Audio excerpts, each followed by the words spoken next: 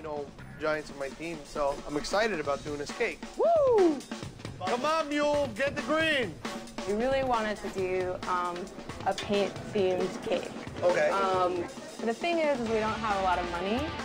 The light bulb went off in my head, and it said, you could use a paint job upstairs. What did you just do? This is not what I wanted. I'm, I want to throw up on this wall. This is Carlo's Bakery. Every week, thousands of cakes and pastries go out these doors.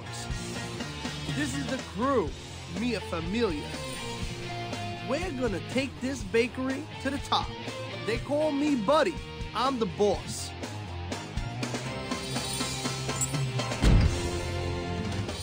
All right, guys, team meeting.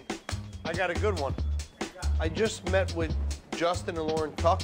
For you who don't know, he's a Giants player. He's a really good Giants player. And you know, Giants are my team, so I'm excited about doing this cake.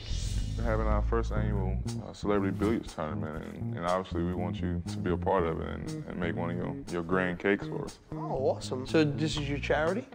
Right, we're raising money for Tuck's Rush for literacy. You know, RUSH is an acronym that stands for Read, Understand, Succeed, and Hope. But we raise money to provide these schools with um, reading materials and after-school programs. I'm totally 100% behind the event and behind helping kids. I think it's awesome that you guys are giving back.